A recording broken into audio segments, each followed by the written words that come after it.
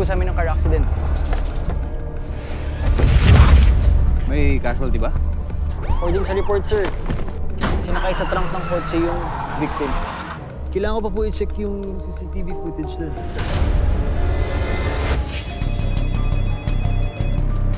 Ina ka, nanggagago ka ba? Ang ibig kong sabihin, saan mo siya dinala? Nakakatulog ka ba sa gabi kahit nakapatay ka ng tao? Tang ina mo ka, sino ka ba?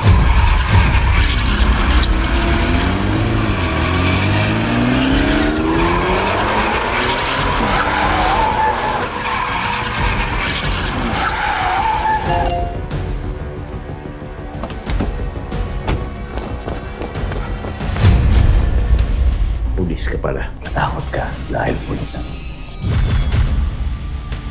Ibigay mo sa akin ang bangkay ni Apio. No questions asked. Paano yan? Eh, hindi ko alam kung nasaan. Ibigay mo si Apio sa akin ngayong gabi.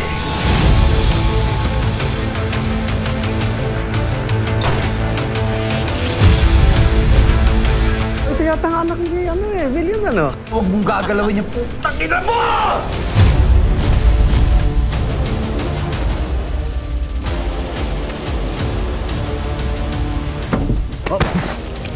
Sige, putok mo!